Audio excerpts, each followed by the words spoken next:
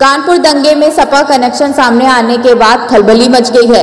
इसलिए मामले पर समाजवादी पार्टी ने अपने पदाधिकारी एवं महानगर सचिव निज़ाम कुरैशी को निकालकर किनारा कर लिया है।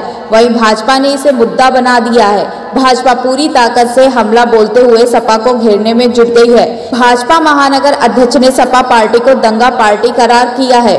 सपा ने कुरैसी को पार्टी से निष्कासित कर दिया है। आपको बता दें कि पुलिस की ओर से दंगे के बाद एफआईआर दर्ज की गई। इस लिस्ट में सपा के महानगर सचिव निज़ाम कुरैसी का नाम भी दंगइयों में शामिल है। इसके बाद सपा ने उन्हें पार्टी से बर्खास्त कर दिया है।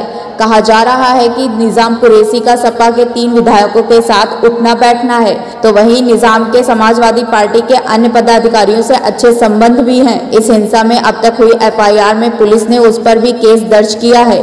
इस मामले पर सपा नगर अध्यक्ष डॉक्टर इमरान ने कहा कि दंगाइयों से सपा का कोई नाता नहीं है। कुरेशी को पार्टी से बर्खास्त कर दिया गया है। अकरपुर से भाजपा सांसद देवेंद्र सिंह भोले ने सपा को दंगा पार्टी करार करते हुए दंगाइयों का समर्थक बता डाला। Bureau report, IPN.